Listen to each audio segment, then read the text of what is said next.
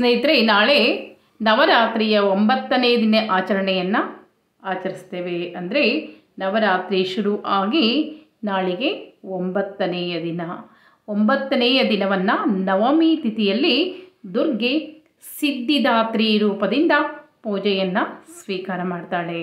ನವಶಕ್ತಿ ಸ್ವರೂಪಳಾದಂಥ ದುರ್ಗೆಗೆ ನಾಳೆ ಕೊನೆಯ ಪೂಜೆ ಇರ್ತದೆ. ಯಾರು ಇಷ್ಟು ದಿವಸ ಮಾಡಿಲ್ಲ ಅಂತನ್ನೋರು ನಾಳೆ ಒಂದು ದಿವಸ ಆದರೂ ಆಕೆಯನ್ನು ಪೂಜೆ ಮಾಡಿರಿ. ನಿಮ್ಮ ಭವಿಷ್ಯದ ಕತ್ತಲುಗಳೆಲ್ಲವೂ ಕಳೆದು ಹೋಗ್ತದೆ. ಇನ್ನು ನಾಳೆಯ ದಿವಸ ಪ್ರತಿಯೊಬ್ಬರೂ ಆಯುಧ ಪೂಜೆಯನ್ನು ಮಾಡಬೇಕು. ಈ ಆಯುಧ ಪೂಜೆ ಅಂದರೆ ಏನು ಅಂತ ತಿಳಿಸ್ಕೊಡ್ತೀನಿ. ಮಹಾನವಮಿ ಅಂಥೇಳಿ ನಾಳೆ ಕರೀತಾರೆ.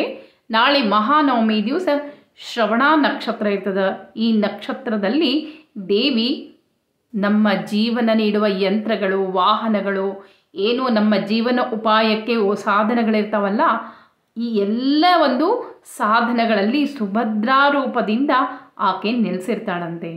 ಅದಕ್ಕಾಗಿ ನಾಳೆಯ ದಿವಸ ನಾವು ಎಲ್ಲವನ್ನ ಇಟ್ಟು, ಅಂದರೆ ನಮ್ಮ ಒಂದು ಶಸ್ತ್ರಾಸ್ತ್ರ ಅಂಥೇಳಿ ಏನು ಪೂರ್ವಜರು ಪೂಜೆಯನ್ನು ಮಾಡ್ತಿದ್ರು, ಯಾಕಂದರೆ ಅವರು ಯುದ್ಧಕ್ಕೆ ಹೋಗ್ತಿದ್ರು, ರಾಜನಲ್ಲಿ ಕೆಲಸವನ್ನು ಮಾಡ್ತಿದ್ರು, ಪ್ರತಿಯೊಬ್ಬರು. ಹೀಗಾಗಿ ಯುದ್ಧಕ್ಕೆ ಹೋಗ್ತಿದ್ರು, ಶಸ್ತ್ರ ಅಸ್ತ್ರಗಳೇ ಅವರ ಜೀವನ ಉಪಾಯ ಆಗಿತ್ತು. ಆದರೆ ನಮ್ದು ಹಂಗಲ್ಲ. ನಮ್ಮ ಜೀವನಕ್ಕೆ ಏನೇನು ಉಪಾಯಗಳನ್ನು, ಅಂದರೆ ಜೀವನೋಪಾಯಕ್ಕೆ ಏನೇನು ಬಳಸ್ತೇವೋ, ಯಂತ್ರಗಳಾಗಿರ್ಬೋದು, ವಾಹನಗಳಾಗಿರ್ಬೋದು, ಮನೆಯಲ್ಲಿ ಕುಶಲಕರ್ಮಿಗಳು ಹಾಗೆ ಇವೇನೇನು ವಸ್ತುಗಳನ್ನು ಉಪಯೋಗಿಸಿ, ಅದರಿಂದ ನಿಮ್ಮ ಜೀವನ ಉಪಾಯವನ್ನು ಮಾಡ್ಕೊಳ್ತಾ ಇರ್ತೀರೋ, ಆ ಎಲ್ಲ ವಸ್ತುಗಳನ್ನು ತೊಳೆದು ಒರೆಸಿ ಸುಣ್ಣವನ್ನು ಮತ್ತು ಕ್ಯಾಮಿ ಹಚ್ತಾರೆ ಕ್ಯಾಮಿ ಇರಲಿಲ್ಲ ಅಂತಂದರೆ ಸುಣ್ಣ ಮತ್ತು ಒಂದು ಬಟ್ಟು ಕುಂಕುಮವನ್ನು ಹಚ್ಚಿ ಎಲ್ಲದಕ್ಕೂ ಬನ್ನಿ ಆರಿ ಇಟ್ಟು ಪೂಜೆಯನ್ನು ಮಾಡುವಂಥ ಪದ್ಧತಿ ನಾಳೆ. ಅದಕ್ಕಾಗಿ ಶಾಸ್ತ್ರದಲ್ಲಿ ಸ್ಪಷ್ಟವಾಗಿ ಹೇಳ್ತದೆ, ಭವಿಷ್ಯತಿ ನ ದಾರಿದ್ರ್ಯಂ ನ ಚೈವಾಷ್ಟ ವಿಯೋಜನಂ ಶತ್ರುತೋ ನ ಭಯಂ ತಸ್ಯ ದಸ್ಸುತೋ ವಾ ನ ರಾಜತಃ.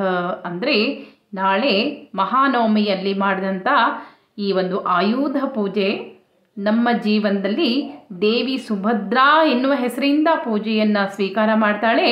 ಆಕೆ ನಮ್ಮ ಜೀವನಕ್ಕೆ ಸುಭದ್ರೆಯನ್ನ ಕೊಡ್ತಾಳಂತೆ ಅಂದರೆ ಭದ್ರತೆಯನ್ನ ಕೊಡ್ತಾಳೆ. ಅದಕ್ಕಾಗಿ ಶಾಸ್ತ್ರ ಹೇಳ್ತದೆ, ಆಯುಧ ಪೂಜೆಗಳನ್ನು ಮಾಡೋದ್ರಿಂದ ಇಷ್ಟಾರ್ಥಗಳು ಸಿದ್ಧಿ ಆಗ್ತದಂತೆ ಭವಿಷ್ಯದಲ್ಲಿ ನಮಗೆ ದಾರಿದ್ರ್ಯ ಬರಲಾರ್ದಂತೆ ಆಕೆ ನಮ್ಮನ್ನು ಕೈ ಹಿಡಿದು ಕಾಪಾಡ್ತಾಳಂತೆ. ಅದಕ್ಕಾಗಿ ನಾಳೆ ದಿವಸ ಪ್ರತಿಯೊಬ್ಬರೂ ನೀವು ಉಪಯೋಗಿಸುವಂಥ ವಸ್ತುಗಳನ್ನು ಇಟ್ಟು ಆಯುಧ ಪೂಜೆಯನ್ನು ಮಾಡಿರಿ. ತಪ್ಪದೇ ಮಾಡೋದ್ರಿಂದ ನಮ್ಮ ಮನೆಗೂ ಮಕ್ಕಳಿಗೂ ಕೂಡ ಒಳ್ಳೆಯದಾಗ್ತದೆ ಈಗ ನಾಳಿನ ದಿವಸ ಯಾವ ಸಮಯದಲ್ಲಿ ಮಾಡಿದರೆ ನಿಮಗೆ ಅತ್ಯಂತ ಶುಭವಾಗ್ತದೆ ಅನ್ನೋದನ್ನು ಸಮಯವನ್ನು, ಪೂಜಾ ಸಮಯವನ್ನು ಕೊಟ್ಬಿಡ್ತೀನಿ. ಪಂಚಾಂಗವನ್ನು ಅವಲೋಕನ ಮಾಡಿ. ನಾಳೆ ಅಕ್ಟೋಬರ್ ಇಪ್ಪತ್ತೆರಡು, ಸೋಮವಾರ ಶುಕ್ಲ ಪಕ್ಷದ ನವಮಿ, ಶುಭ ನಕ್ಷತ್ರ ಅಂತಲೇ ಹೇಳ್ತೀವಿ. ಶ್ರವಣ ನಕ್ಷತ್ರ, ಶ್ರವಣ ನಕ್ಷತ್ರಕ್ಕೆ ಅಧಿದೇವತೆ ವಿಷ್ಣು ದೇವರು. ಅದಕ್ಕಾಗಿ ನಾಳೆ ಬಹಳನೇ ಶುಭ ಯೋಗದಲ್ಲಿ ದುರ್ಗೆ ಸಿದ್ಧಿಧಾತ್ರಿ ರೂಪದಲ್ಲಿ ಪೂಜೆಯನ್ನು ಸ್ವೀಕಾರ ಮಾಡ್ತಾ ಇದ್ದಾಳೆ. ಜೊತೆಗೆ ಸುಭದ್ರಾ ರೂಪದಲ್ಲಿ ಆಯುಧ ಪೂಜೆಯನ್ನು ಕೂಡ ಸ್ವೀಕಾರವನ್ನು ಮಾಡ್ತಾ ಇದ್ದಾಳೆ. ನಾವು ಯಾವ ಸಮಯಕ್ಕೆ ನಾವು ಪೂಜೆಯನ್ನು ಮಾಡಿದರೆ ಶುಭವನ್ನು ತಂದುಕೊಡ್ತದೆ ಅಂದರೆ ನಾಳೆ ಸೂರ್ಯೋದಯ ಆರು ಗಂಟೆ ಮೂವತ್ತೊಂದು ನಿಮಿಷಕ್ಕೆ ಸೂರ್ಯ ಅಸ್ತ ಐದು ಗಂಟೆ ಐವತ್ತೆರಡು ನಿಮಿಷಕ್ಕೆ. ಸೂರ್ಯ ತುಲಾ ರಾಶಿಯಲ್ಲಿ ಸಂಚಾರವನ್ನು ಮಾಡ್ತಾ ಇದ್ದರೆ ಚಂದ್ರ ಮಕರ ರಾಶಿಯಲ್ಲಿ ಸ್ಥಿತನಿದ್ದಾನೆ. ಇನ್ನು ಬೆಳಗ್ಗೆ ಬ್ರಾಹ್ಮಿ ಮುಹೂರ್ತ ಅಂತ ಹೇಳ್ತೀವಿ. ನಾಲ್ಕು ಗಂಟೆ ಐವತ್ತೆರಡು ನಿಮಿಷದಿಂದ ಹಿಡಿದು ಐದು ಗಂಟೆ ನಲವತ್ತೆಂಟು ನಿಮಿಷದವರೆಗೆ ಬ್ರಾಹ್ಮಿ ಮುಹೂರ್ತ. ಇದು ಕೂಡ ಬಹಳನೇ ಶುಭ ಯೋಗದಲ್ಲಿ ಇದೆ. ಪೂರ್ಣವಾಗಿ ಶುಭವನ್ನು ತಂದುಕೊಡುತ್ತೆ ಅಂತಲೇ ಹೇಳ್ತೇವೆ. ಈ ಸಮಯದಲ್ಲಿ ನೀವು ದುರ್ಗಾ ಪೂಜೆಯನ್ನು ಮಾಡ್ಬೋದು. ಮತ್ತು ಆಯುಧ ಪೂಜೆಯನ್ನು ಸಹ ಮಾಡ್ಬೋದು. ಇನ್ನು ಎರಡನೇ ಮುಹೂರ್ತವನ್ನು ಕೊಡ್ತೇನೆ. ಇದು ಅಮೃತ ಕಾಲ ಅಂತಲೇ ಹೇಳ್ತೇವೆ. ಈ ಅಮೃತ ಕಾಲ ಏಳು ಗಂಟೆ ಇಪ್ಪತ್ತೆಂಟು ನಿಮಿಷದಿಂದ ಎಂಟು ಗಂಟೆ ಐವತ್ತೆಂಟು ನಿಮಿಷದವರೆಗೆ ಇದು ಬಹಳನೇ ಶುಭಯೋಗ ಅಮೃತ ಕಾಲ ಅಂತಲೇ ಹೇಳ್ತೇವೆ. ಇದು ಕೂಡ ಶುಭವನ್ನು ತಂದುಕೊಡ್ತಿದೆ. ಈ ಸಮಯದಲ್ಲಿ ಕೂಡ ನೀವು ದುರ್ಗಾ ಪೂಜೆ, ಅಡುಗೆ ನೈವೇದ್ಯವನ್ನು ಮಾಡ್ಬೋದು ಅಥವಾ ಶಸ್ತ್ರಾಸ್ತ್ರ ಪೂಜೆಯನ್ನು ಸಹ ವಾಹನ ಪೂಜೆಯನ್ನು ಕೂಡ ಮಾಡ್ಬೋದು. ಇನ್ನು ಶುಭ ಮುಹೂರ್ತ ಅಂತಲೇ ಪಂಚಾಂಗಕರ್ತರು ಬರೀತಾರೆ. ಆಯುಧ ಪೂಜೆ ಆಗಿರ್ಬೋದು, ನಿತ್ಯ ಪೂಜೆ ಆಗಿರ್ಬೋದು, ದುರ್ಗಾ ಪೂಜೆ ಆಗಿರ್ಬೋದು, ಅಥವಾ ನೀವೇನಾದರೂ ನಾಳೆ ಖರೀದಿಯನ್ನು ಮಾಡ್ತಾ ಇದ್ದರೆ ಒಂಬತ್ತು ಗಂಟೆ ಇಪ್ಪತ್ತು ನಿಮಿಷದಿಂದ ಹತ್ತು ಗಂಟೆ ನಲವತ್ತಾರು ನಿಮಿಷದವರೆಗೆ ಅತ್ಯಂತ ಶುಭ ಯೋಗ ಅಂತ ಹೇಳ್ತಾರೆ. ಇನ್ನು ಅಭಿಜಿತ ಮುಹೂರ್ತ ಅಂತ ಹೇಳ್ತೀವಿ ಲಕ್ಷ್ಮೀನಾರಾಯಣ ಮುಹೂರ್ತ ಅಂತಲೇ ಹನ್ನೊಂದು ಗಂಟೆ ನಲವತ್ತೆಂಟು ನಿಮಿಷದಿಂದ ಹನ್ನೆರಡು ಗಂಟೆ ಮೂವತ್ತೆರಡು ನಿಮಿಷದವರೆಗೆ ಇದು ಅಭಿಜಿತ್ ಮುಹೂರ್ತ ಇದು ಕೂಡ ಶುಭವನ್ನು ಕೊಡ್ತದೆ. ಇನ್ನೂ ಒಂದು ಶುಭ ಮುಹೂರ್ತವನ್ನು ಮಧ್ಯಾಹ್ನ ಸಮಯದಲ್ಲಿ ಕೊಡ್ತಾ ಇದ್ದಾರೆ. ಇದು ಕೂಡ ಬಹಳನೇ ಶುಭ ಯೋಗ ಅಂತಲೇ ಹೇಳ್ತಾರೆ ಪಂಚಾಂಗಕರ್ತರು ನಾಲ್ಕು ಗಂಟೆ ಇಪ್ಪತ್ತಾರು ನಿಮಿಷದಿಂದ ಐದು ಗಂಟೆ ಐವತ್ತೊಂದು ನಿಮಿಷದವರೆಗೆ ಇದು ಅಮೃತ ಕಾಲದಲ್ಲಿ ಬರ್ತದೆ. ಇದು ಕೂಡ ಅತ್ಯಂತ ಮಂಗಳಕರವಾಗ್ಯದ ಅಂಥೇಳಿ ಅಕಸ್ಮಾತ್ ಬೆಳಿಗ್ಗೆ ಯಾರಿಗೆ ಮಾಡಲಿಕ್ಕೆ ಆಗಿರುವುದಿಲ್ಲ. ಈ ತನಕ ಸಾಯಂಕಾಲ ಸಮಯದಲ್ಲಿ ನಾಲ್ಕು ಗಂಟೆ ಇಪ್ಪತ್ತಾರು ನಿಮಿಷದಿಂದ ಐದು ಗಂಟೆ ಐವತ್ತೊಂದು ನಿಮಿಷದವರೆಗೆ ಇದು ಕೂಡ ಶುಭ ಮುಹೂರ್ತ. ಈ ಸಮಯದಲ್ಲಿ ಕೂಡ ನೀವು ಮಾಡ್ಬೋದು. ಇನ್ನು ನವಮಿ ತಿಥಿ ನಾಳೆ ಸಾಯಂಕಾಲ ಐದು ಗಂಟೆ ಐವತ್ತೈದು ನಿಮಿಷದವರೆಗೆ ಮಾತ್ರ ಅದ. ಸಾಯಂಕಾಲ ಸಮಯದಲ್ಲಿ ನವಮಿ ತಿಥಿ ಇಲ್ಲದೇ ಇರೋದ್ರಿಂದ ಅಂದರೆ ಆ ಸಮಯದಲ್ಲಿ ನಮಗೆ ದಶಮಿ ಬಂದುಬಿಡ್ತದೆ. ಅದಕ್ಕಾಗಿ ಕೆಲವರು ನಾಳಿನೇ ದಶಮಿ ಆಚರಣೆಯನ್ನು ಕೂಡ ಬೆಳಗ್ಗೆ ನವಮಿ ತಿಥಿಯನ್ನು ಮಾಡಿ ಸಾಯಂಕಾಲ ಬನ್ನಿ ಮುಡಿಯೋದನ್ನು ಕೆಲವರು ಮಾಡಿಬಿಡ್ತಾರೆ. ಯಾಕಂದರೆ ಆ ಸಮಯದಲ್ಲಿ ನಮಗೆ ದಶಮಿ ತಿಥಿ ಇರಬೇಕು. ಸಾಯಂಕಾಲ ಸಮಯದಲ್ಲಿ ನಾವು ಬನ್ನಿ ಗಿಡಕ್ಕೆ ಹೋಗಿ ಪೂಜೆಯನ್ನು ಮಾಡ್ತೀವಿ. ಮಾಡಿ ಆ ಸಮಯದಲ್ಲಿ ಬನ್ನಿಯನ್ನು ತಗೊಂಡು ಬಂದು ಬನ್ನಿ ಗಿಡಕ್ಕೆ ಪೂಜೆಯನ್ನು ಮಾಡಿ ಗಣ್ ಬನ್ನಿಯನ್ನೆಲ್ಲ ಬಿಡಿಸ್ಕೊಂಡು ಬಂದು ಏನು ತೊಗೊಂಡು ಬರ್ತೇವಲ್ಲ, ಆ ಸಮಯದಲ್ಲಿ ಅಂದರೆ ಸಾಯಂಕಾಲ ಸಮಯದಲ್ಲಿ ದಶಮಿ ತಿಥಿ ಇರಬೇಕು. ನಾಳೆ ಅಂದರೆ ದಶಮಿ ತಿಥಿ ಅದ. ಮಾರನೇ ದಿವಸ, ಮಂಗಳವಾರ ದಿವಸ ನಮಗೆ ದಶಮಿ ತಿಥಿ ಸಾಯಂಕಾಲ ಸಮಯದಲ್ಲಿ ಇಲ್ಲದೇ ಇರೋದರಿಂದ ನಾಳೆಯ ದಿವಸವನ್ನು ಎಷ್ಟೋ ಜನ ದಶಮಿಯನ್ನು ನಾಳೆ ಸಾಯಂಕಾಲ ಸಮಯದಲ್ಲಿ ಆಚರಣೆಯನ್ನು ಮಾಡ್ತಾ ಇದ್ದಾರೆ. ಮಾಡಿದರೆ ಏನೂ ತಪ್ಪಲ್ಲ. ನಾಳೆ ಬೆಳಿಗ್ಗೆ ನವಮಿ ಪೂಜೆ, ಅಂದರೆ ಪೂಜೆ ಸಮಯದಲ್ಲಿ ನವಮಿ ಇರೋದರಿಂದ ಪೂಜಾ ಸಂಕಲ್ಪದಲ್ಲಿ ನವಮಿನೇ ಬರ್ತದೆ. ನಂತರ ಸಾಯಂಕಾಲ ಸಮಯದಲ್ಲಿ ದಶಮಿ ಆಚರಣೆಯನ್ನು ಮಾಡಬಹುದು ನವಮಿ ದಶಮಿಯನ್ನು ಸೋಮವಾರ ದಿವಸವೇ ಆಚರಣೆಯನ್ನು ಮಾಡಿದರೆ ಏನು ತಪ್ಪಿಲ್ಲ. ಇನ್ನು ಕಲಶ ವಿಸರ್ಜನೆ ದಶಮಿ ದಿವಸ ಬೆಳಗ್ಗೆ ಸ್ನಾನ ಮಾಡಿಕೊಂಡು ಕ, ದಶಮಿ ದಿವಸನೇ ವಿಸರ್ಜನೆ ಮಾಡಿರಿ. ಅಂದರೆ ಮಂಗಳವಾರ ದಿವಸ ಕಲಶ ವಿಸರ್ಜನೆ ಮಾಡ್ಬೋದು. ಅದು ವಿಧಿವಿಧಾನವನ್ನು ಹೇಳ್ಕೊಡ್ತೀನಿ ಅಂತ ನಾನು. ದೀಪ ವಿಸರ್ಜನೆ ಆಗಿರ್ಬೋದು ಘಟ್ಟ ವಿಸರ್ಜನೆ ಆಗಿರ್ಬೋದು, ಕಲಶ ವಿಸರ್ಜನೆ ಆಗಿರ್ಬೋದು, ಅದನ್ನು ಹಂಗೆ ಮಾಡ್ಲಿಕ್ಕೆ ಬರೋದಿಲ್ಲ. ಅದರ ವಿಸರ್ಜನೆ ಕ್ರಮವನ್ನು ಹೇಳ್ಕೊಡ್ತೀನಂತ ಇನ್ನು ಒಂಬತ್ತನೇ ದಿವಸ ನವರಾತ್ರಿಯ ಕೊನೆಯ ದಿವಸ ಅಂಥೇಳಿ ನವದುರ್ಗೆ ಸ್ವರೂಪಳಾದಂಥ ದುರ್ಗಾ ಸರ್ವ ಸಿದ್ಧಿಯನ್ನು ಕೊಡತಕ್ಕವಳು. ಇಷ್ಟು ದಿವಸ ನಿಮ್ಮ ಕಡೆಯಿಂದ ಏನು ಪೂಜೆಯನ್ನು ತೆಗೆದುಕೊಂಡಿದ್ಲೋ, ಕೊನೆಯ ದಿವಸ ನಿಮ್ಮ ಪೂಜೆಗೆ ಆಕೆ ವರವನ್ನು ಕೊಟ್ಟು ಹೋಗುವಂಥ ಸಂದರ್ಭ ಇದು. ಈ ಸಮಯದಲ್ಲಿ ಸರಿಯಾಗಿ ನಾಳೆ ಪೂಜೆಯನ್ನು ಮಾಡಿರಿ, ಒಂದು ವಿಶೇಷವಾದ ರಂಗೋಲಿಯನ್ನು ತಿಳಿಸ್ಕೊಡ್ತೇನೆ. ಕೇತು ಗ್ರಹದ ಅಧಿಪತ್ಯವನ್ನು ವಹಿಸ್ಕೊಂಡು ಬರುವಂಥ ಸಿದ್ಧಿಧಾತ್ರಿ ನಮ್ಮ ಕೇತು ಗ್ರಹವನ್ನು ಮೋಕ್ಷಕಾರಕ ಅಂಥೇಳಿ ಶಾಸ್ತ್ರದಲ್ಲಿ ಕರೀತಾರೆ. ಜಾತಕದಲ್ಲಿ ಕೇತು ಪ್ರಬಲನಾಗಿದ್ದಾಗ ನಮ್ಮ ಜೀವನದಲ್ಲಿ ಒಂದು ಆಧ್ಯಾತ್ಮಕತೆ ಇರ್ತದೆ, ವೈರಾಗ್ಯ ಇರ್ತದೆ ಮನುಷ್ಯನ ಹತ್ರ. ಎಷ್ಟೇ ಆಸ್ತಿ ಐಶ್ವರ್ಯ, ಅಂತಸ್ತು ಇದ್ದರೂ ಕೂಡ ಮನುಷ್ಯ ನಿರ್ಲಿಪ್ತತೆಯಿಂದ ಇರ್ತಾನೆ.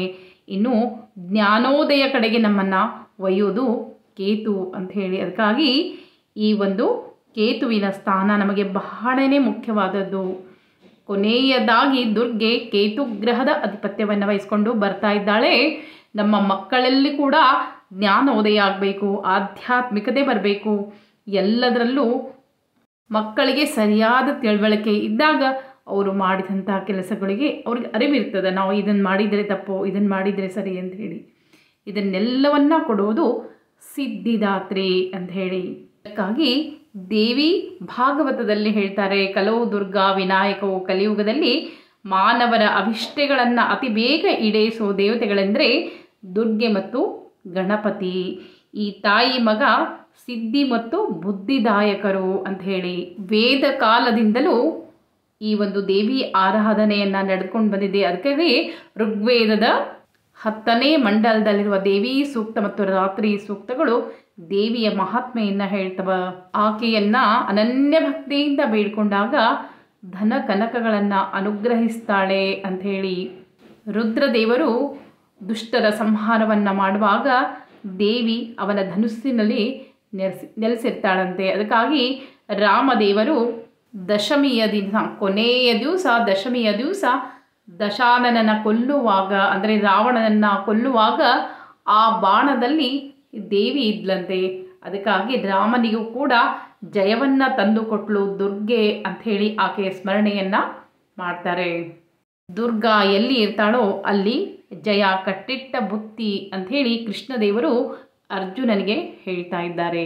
ರೀತಿ ಸರ್ವಾರ್ಥ ಸಿದ್ಧಿಯನ್ನು ಕೊಡುವಂಥ ನಾಳೆ ಸಿದ್ಧಿದೇವಿಗೆ ವಿಶೇಷವಾದ ಮಂಡಲವನ್ನು ಅಂತ ಆ ಮಂಡಲವನ್ನು ಪ್ರತಿ ದಿವಸನೂ ಆ ರಂಗೋಲಿ ಒಂದು ಮಂಡಲ ರಂಗೋಲಿ ತೆಗಿಬೇಕು, ಸ್ವಚ್ಛ ಮಾಡಬೇಕು, ಮತ್ತೆ ಹೊಸ ಮಂಡಲವನ್ನು ಹಾಕ್ತಾನೆ ಬರಬೇಕು. ಪ್ರತಿ ಸಲ ಹೇಳ್ಕೊಡ್ತೀನಿ ನಾ ಇದನ್ನು. ಈ ಮಂಡಲ ಕೂಡ ಬಹಳನೇ ಸರಳದ. ನಾಳಿನ ದಿವಸ ಈ ಮಂಡಲವನ್ನು ಹಾಕಿ ಒಂದು ಶ್ಲೋಕ ಅದ ಅದನ್ನು ಹೇಳ್ಕೊಡ್ತೀನಿ.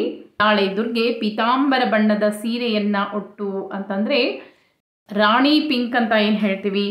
ಆ ಸೀರೆಯನ್ನು ಉಟ್ಟು ದೇವಿ ರಾರಾಜಿಸ್ತಾ ಇದ್ದಾಳೆ. ದೇವತೆಗಳೆಲ್ಲರೂ ಆಕೆಗೆ ಎಲ್ಲ ಆಭರಣಗಳನ್ನು ತೊಡಿಸಿ ಪೀತಾಂಬರ ಸೀರೆಯನ್ನು ಉಡಿಸಿ ಆಕೆಗೆ ಪೂಜೆಯನ್ನು ಮಾಡ್ತಾ ಇದ್ದಾರೆ. ಎಲ್ಲ ರಾಕ್ಷಸ ಸಂಹಾರ ಮಾಡಿದಂಥ ದೇವಿ ಜಗತ್ತಿಗೆ ಕಲ್ಯಾಣವನ್ನು ಮಾಡಿದ್ದಕ್ಕಾಗಿ ಪೀತಾಂಬರ ಬಣ್ಣದ ಸೀರೆಯಲ್ಲಿ ಪೀತಾಂಬರ ಸೀರೆಯನ್ನು ತೊಟ್ಟು ಸರ್ವ ಅಲಂಕಾರಗಳನ್ನು ಮಾಡಿಸ್ಕೊಂಡು ಸರ್ವ ದೇವತೆಗಳಿಂದ ಪೂಜೆಯನ್ನು ಸ್ವೀಕಾರ ಮಾಡಿಸ್ಕೊಳ್ತಾ ಇದ್ದಾಳೆ. ಅದಕ್ಕಾಗಿ ನೀವು ಕೂಡ ಪೀತಾಂಬರ ಕಲ್ಲ ಬಣ್ಣದ ಸೀರೆಯನ್ನು ಉಡ್ಬೋದು. ಇನ್ನು ನಾಳೆ ಆಕೆಗೆ ವಿಶೇಷವಾಗಿ ಹೋಳಿಗೆ ನೈವೇದ್ಯ ಮಾಡ್ಬೋದು, ಅನ್ನ, ಪಾಯಸ, ತವ್ವೆ, ಚಟ್ನಿ, ಕೋಸಂಬರಿ, ಎಲ್ಲ ತರಹದ ಭಕ್ಷ್ಯಭೋಜ್ಯಗಳನ್ನು ಅಡುಗೆ ಮಾಡಿ ಆಕೆಗೆ ನೈವೇದ್ಯವನ್ನು ಮಾಡಬೇಕು. ನಾಳೆ ದಿವಸ ಆಕೆಗೆ ಎಲ್ಲ ತರಹದ ಹೂಗಳು ಶ್ರೇಷ್ಠ ಅಂತ ಹೇಳ್ತೀವಿ. ತುಂಬೆ ಹೂ ಸಹ ನಾಳಿನ ದಿವಸ ಇರಿಸ್ತಾರೆ, ಸಂಪಿಗೆ ಹೂ ಸಿಕ್ಕರೆ ಸಹ ನಾಳೆ ದಿವಸ ವಿಶೇಷವಾಗಿ ಇರಿಸ್ತಾರೆ. ಸರ್ವ ಅಲಂಕಾರಳಾದಂಥ ದೇವಿಗೆ ಎಲ್ಲ ತರಹದ ಸುವಾಸನೆಯುಕ್ತ ಹೂಗಳನ್ನು ಇರಿಸಿ ಪೂಜೆಯನ್ನು ಮಾಡಬೇಕು. ಯಾಕಂದರೆ ನಾಳೆ ದುರ್ಗೆಗೆ ಕೊನೆಯ ಪೂಜೆ ಅಂತ ಹೇಳ್ತೀವಿ.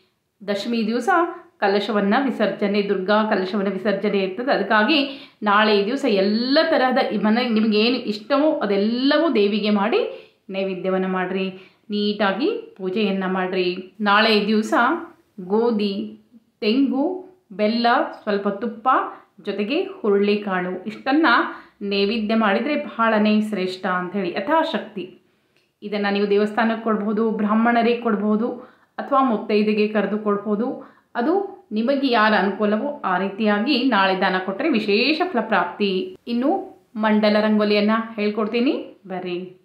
ಸರಳ ಮಂಡಲ ಈ ರೀತಿಯಾಗಿ ಮೇಲೆ ಒಂದು ಶ್ರೀಕಾರವನ್ನು ಹಾಕ್ಕೊಂಡು ಬಿಡಬೇಕು ನಂತರ ಒಂದೇ ಇದರಲ್ಲಿ ಈ ರೀತಿಯಾಗಿ ನಕ್ಷತ್ರವನ್ನು ನೀಟಾಗಿ ಗೆರೆಗಳನ್ನು ಎಳೆದು ನಕ್ಷತ್ರವನ್ನು ಮಾಡಿಕೊಳ್ಬೇಕು.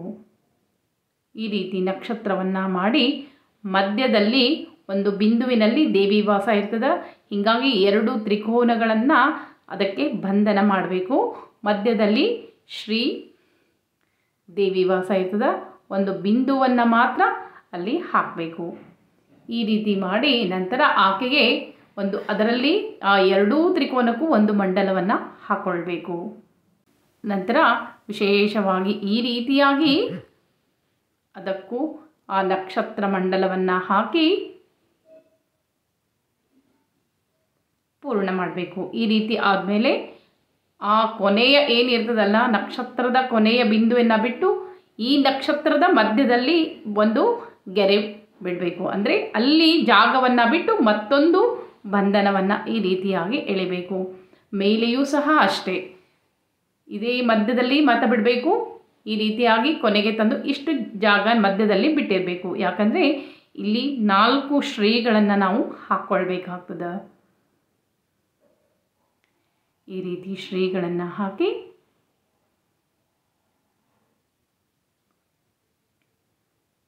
ನೀವು ಕನ್ನಡದಲ್ಲಿ ಸಹ ಹಾಕ್ಕೊಳ್ಬೋದು ಈ ರೀತಿ ನಾಲ್ಕೂ ದಿಕ್ಕಿಗೂ ಇವು ನಾಲ್ಕು ದಿಕ್ಕುಗಳು ಅಂತ ಹೇಳ್ತೀವಿ. ನಾಲ್ಕು ದಿಕ್ಕುಗಳಲ್ಲೂ ಸಹ ಒಂದೊಂದು ಶ್ರೀಕಾರವನ್ನು ಹಾಕಿ ನಂತರ ಈ ರೀತಿಯಾಗಿ ಶಂಖಚಕ್ರವನ್ನು ಹಾಕಬೇಕು. ಹಾಕಿ ಈ ಶ್ಲೋಕವನ್ನು ಒಂಬತ್ತು ಸಾರಿ ಹೇಳಬೇಕು. ಸರಳದ ಹೇಳ್ಕೊಡ್ತೀನಿ ನೋಡ್ರಿ. ನಿಮ್ಗೆ ಹೇಳಲಿಕ್ಕೆ ಬರಲಿಲ್ಲ ಆದರೆ ಕೇಳಿದರೂ ಸಾಕು. ಒಂಬತ್ತು ಸಾರಿ ಕೇಳಿಬಿಡ್ರಿ ಸಾಕು. ಸಿದ್ಧಗಂಧರ್ವ ಯಕ್ಷಾದ್ಯೈ ಅಸುರೈರ ಮರೈರಪಿ ಸೇವ್ಯಮಾನ ಸದಾ ಭೂಯಾತ್ ಸಿದ್ಧಿದ ಸಿದ್ಧಿದಾಯಿನಿ ಅಂಥೇಳಿ ಇಷ್ಟೇ ಈ ಸ್ತೋತ್ರ. ಧಾಟಿಯೊಳಗೂ ಕೂಡ ಭಾಳ ಸರಳದ.